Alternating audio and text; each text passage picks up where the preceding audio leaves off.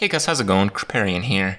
It's time, boys. We're doing the custom card review video. It's been so long since I've done one of these. I actually have quite a few piled up. I guess I just kind of lost track of things. The way I operate is I am a frequent Hearthstone Redditor. I'm a frequent custom Hearthstone Redditor. And over the past few years, I started doing these series where I just collect all the cards that seem really amazing to me. And when I have, you know, like you know, eight to 10 or so, I do one of these videos. Well, this time I have much more than that. Uh, so we are overdue. But looking through some of these cards, I really feel right now, maybe people are just, you know, not, not super interested in the current state of giggling Hearthstone and all that. Maybe they're just really exploring what's possible in Hearthstone. And this is the core of what keeps people like me interested. The, the potential for game mechanics, for amazing card design within the existing Hearthstone design system is really incredible. And uh, if you disagree, well, watch the rest of this video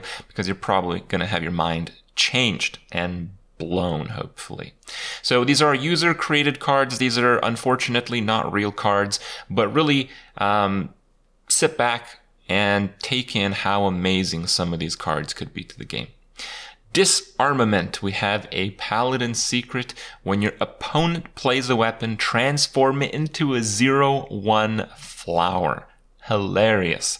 Um, there, there are forms of weapon removal being played right now, but they're always active, and it feels bad to play against weapon removal because it's typically on minions that are just pretty well statted anyway. So, you know, you, you can just play those minions. But something like this, it's just so peaceful. There's, um, you know, there's cards that cheat out secrets pretty often in the standard meta, so it's not as much of a cost to a card. And well, it's just it's just lovely. What can I say? There's a lot of cool interactions with secrets that are possible, and there's lots of those that are uh, shown in these custom cards. Um, Totentann is probably one of the most interesting ones. It's a one mana, one two beast for hunters, but while this is in your hand, secrets are disabled secretly. So the idea is that you play a secret and your opponent tries to figure out what, what it is. And if this is in your hand, you might actually lose his mind trying to figure out what it is. And then you eventually play this card and you change the dynamic instantaneously where your opponent has to uh, understand that he actually could not have triggered the secrets in any one of his previous attempts, and he has to go through the secret checklist once again to figure out what's happening in the current secret situation. It's just amazing. Love this card. Bluff, more secrets. It's a two mana rogue secret. When your turn starts, draw an extra card. Look at that. It's literally a cycle. If you have nothing better to do, you bluff, and sometimes that does the trick. Forbidden Recruitment, while it might not look like an impressive card when you compare it to the last few, you really have to consider how wonderful a card like this would be. It ties in most of the mechanics that have failed pretty hard in Hearthstone's history. The recruit mechanic, not a very good one. Um, the only decent one is like Oakheart because it provides some consistency, but other than that, it's mostly miss. And the Forbidden cards had such cool design, you know, dynamic mana cost that you sometimes can't even manipulate properly. You know, yeah, you can get it to 10 mana, and yeah, you can maybe get it to 8 mana by using a hero power, but it's pretty difficult to guarantee exact intervals otherwise. And here we are, a card that really requires you to have exact intervals. Imagine there's like a combo piece that you need on seven mana. So, you know, you could actually see if you can combo it with like a three mana card. So your combo becomes the three mana card plus the recruitment of exactly a seven mana card. You know, the, the options are really awesome. And I think this is a card that Blizzard should kind of take as an example of what it takes to revive these, you know, kind of lackluster mechanics that they've introduced in Hearthstone history. Celestial Giant, I wanted to include this one because um, it since since the start of Hearthstone, people have been making custom cards, and since the start, people have been trying to figure out the giant mechanic. We have a nice set of giants in Hearthstone, and it's pretty difficult to think up uh, a giant that not only is fairly balanced, that works, you know, thematically, and just kind of feels like the card that it portrays. And Celestial Giant does exactly that. You know, it's a celestial. You know, you have to have lots of spell damage. You have to you have to improve press the card. Uh, it gives you a real reason to use spell damage. Um, I think the aspect of moving spell damage into minion cost reduction is possibly the next step for Tempo Mage. And, you know, whether that's realized or not, we'll have to see. Thunder Fury is an amazing card using the Overload mechanic, a 3 mana 3 2 weapon that doesn't lose durability while you are overloaded. You know, we know a 3 mana 3 2 plus a minor ability is actually pretty well balanced, so something like this uh, could have easily taken over the legendary weapon slot that was, well, not particularly used other than the odd arena game. And generally, we're talking about the odd dual class arena game. Like right now is the only time we're seeing the current Shaman legendary weapon.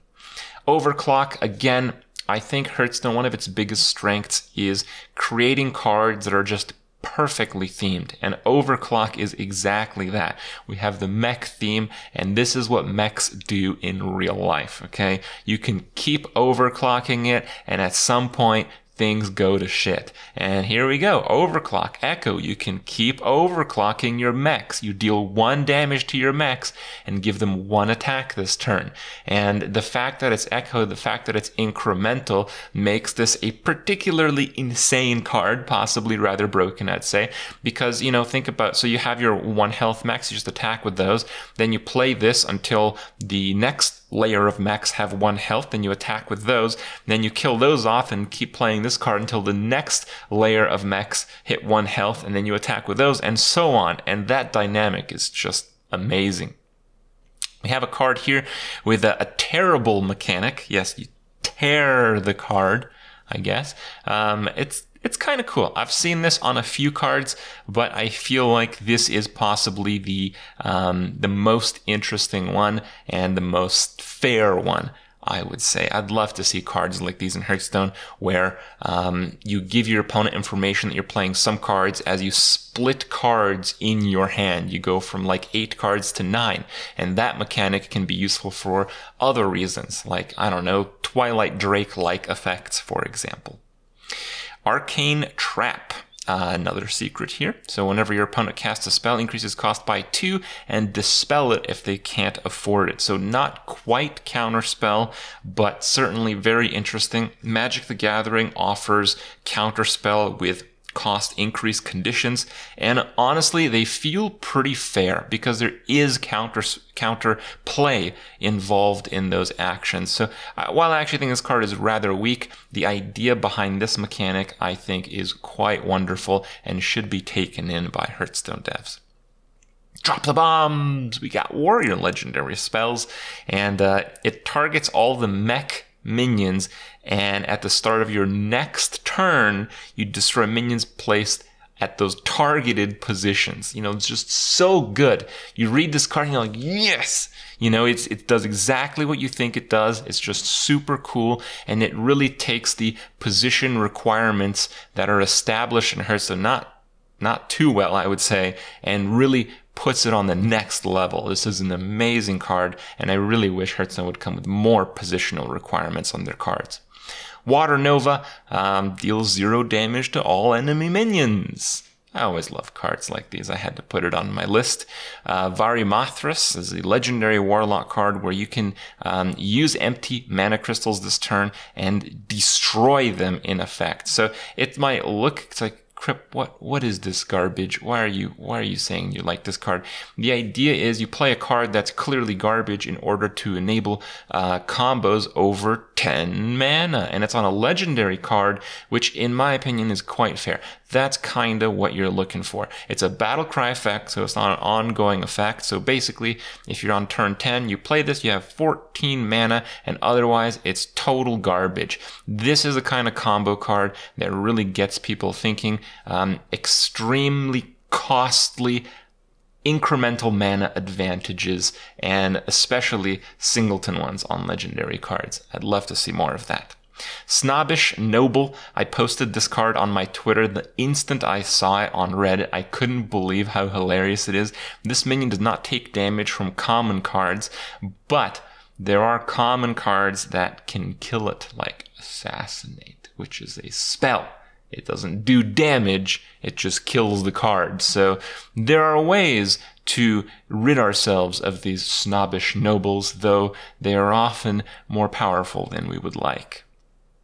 The Eternity Stone is a wonderful take on the quest mechanic. Uh, it's a one mana quest that always starts in your opening hand, so you can play uh, rogue cards with combos without actually having to play a tempo deck because if you want to play the combo rogue cards and you're not playing a tempo deck, the inconsistency kind of shoots the deck down before it can take off. But with Eternity Stone, you guarantee it in your opening hand and you can play as many combo cards as you like without having to play the aggro game, which is something I would love to play.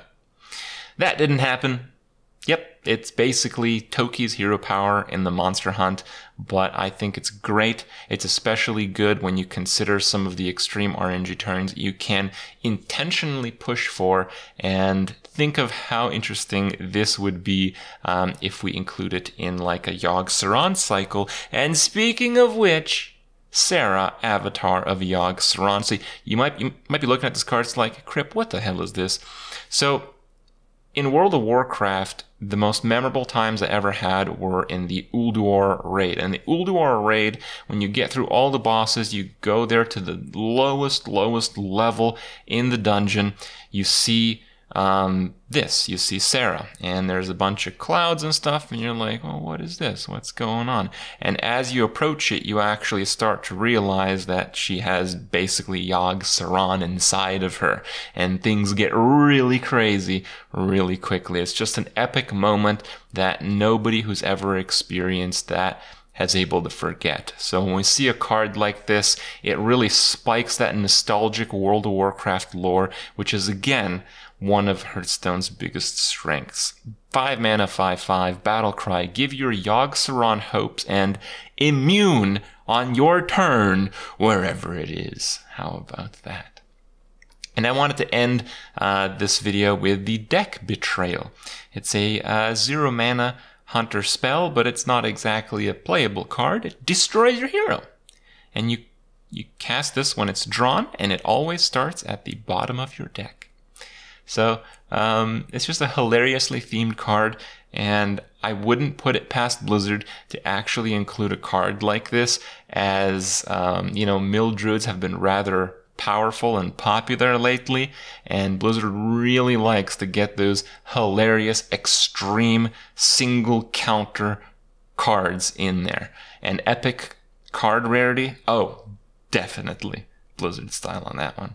Hope you guys enjoy this batch of cards. Let me know what you think. Let me know if you want more. And I'll see you guys tomorrow.